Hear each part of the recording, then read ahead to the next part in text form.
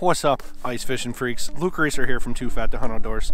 Welcome back to another episode. We are out on the backwaters of the Mississippi River, and we're gonna catch some panfish today. I hope.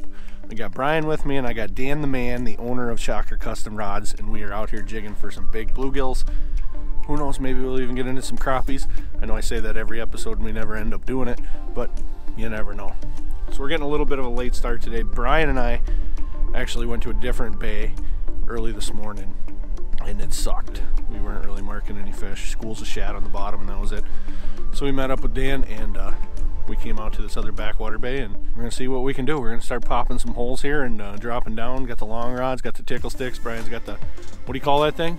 Pan panfish popper. Might even get some plastics out today. See how the bite is. Stay tuned. Donkey hunting starts right now.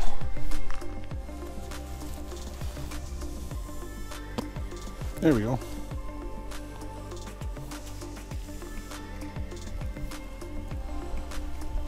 Coming from a long ways up. That's a good one.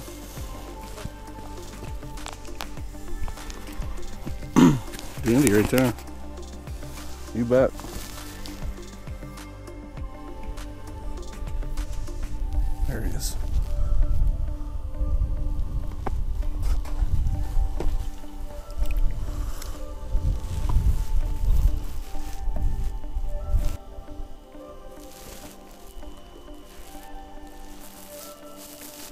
Decent little leader size.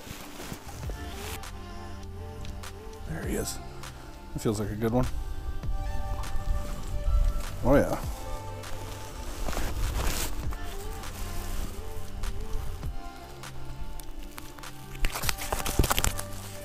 Not huge, but probably seven and a half.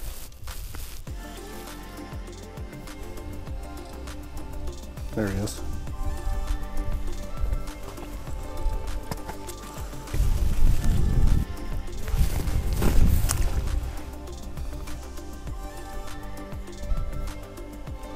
Another one.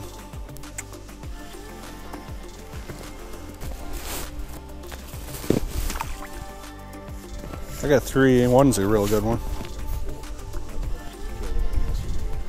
Oh, with the plastic? You He swallowed her. Probably a seven.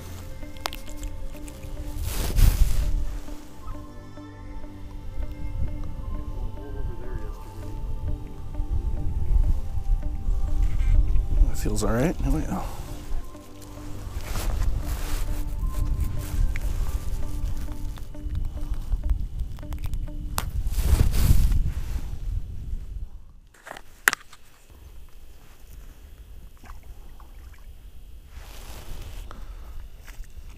There, that feels good.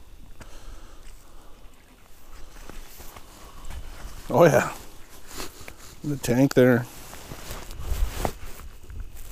Oh yeah. More him.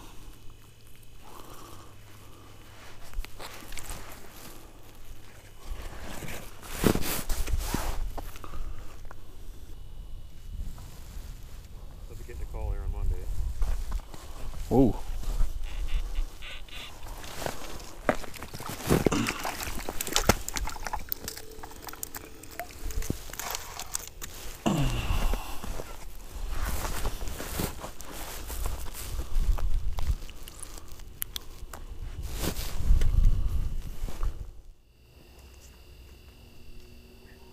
Got some of them fish monkey mitts.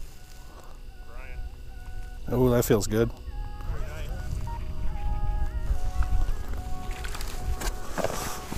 It's dandy. Oh yeah. That is a dandy there.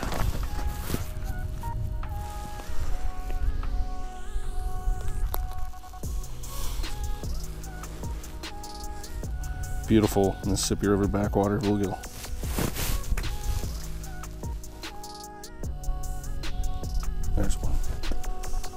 Feels alright. Maybe not.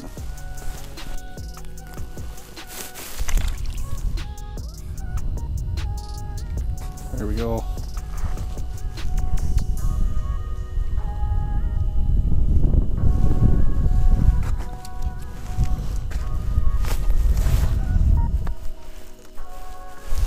Another decent one.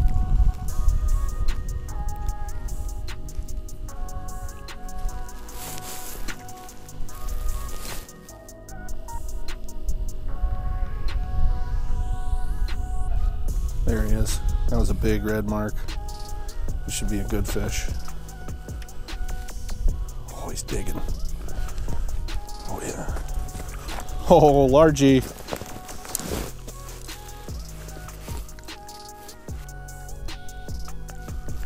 You want to eat this one, Dan?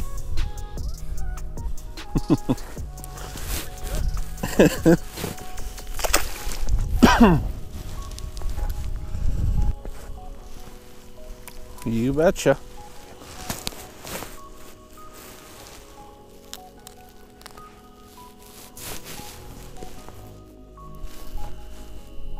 He is a digging fool. Keeper.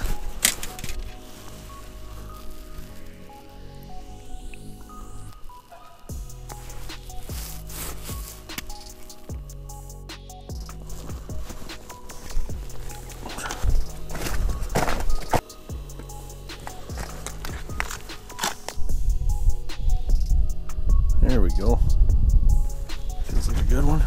You bet. That'll keep.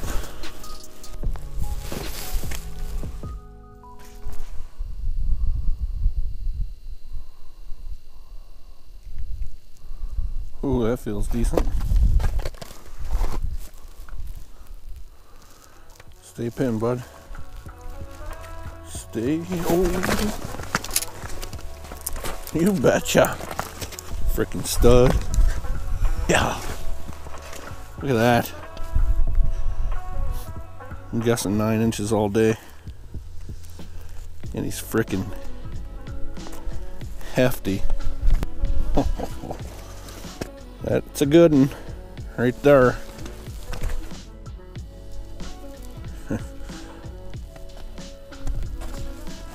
Ooh. What you fighting for, bud? You're a decent one.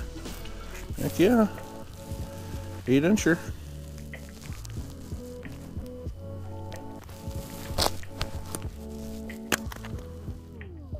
Yes. That one feels decent.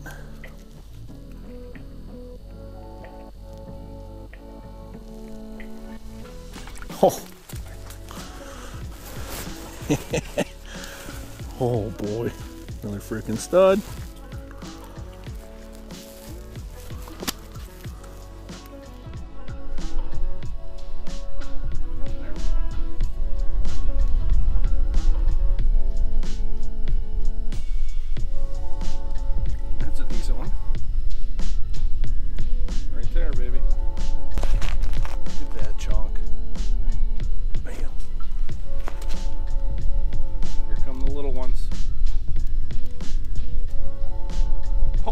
Striper.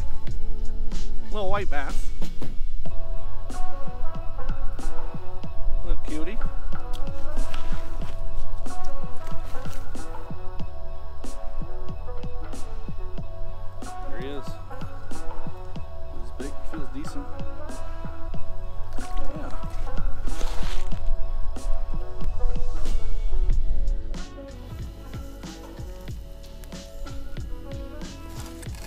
Here's one. With the minnow head.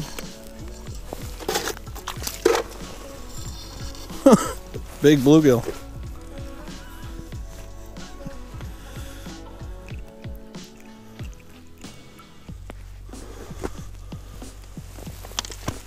Freaking dandy.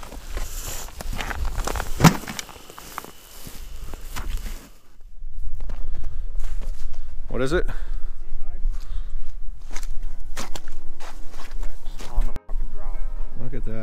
F bombs. G rated. It's not a bad one. Right there.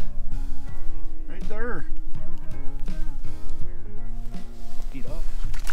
You're back? Yeah. You see my pile? Yeah, they're not that big. Okay. Folks, got these small. Look what Brian caught today.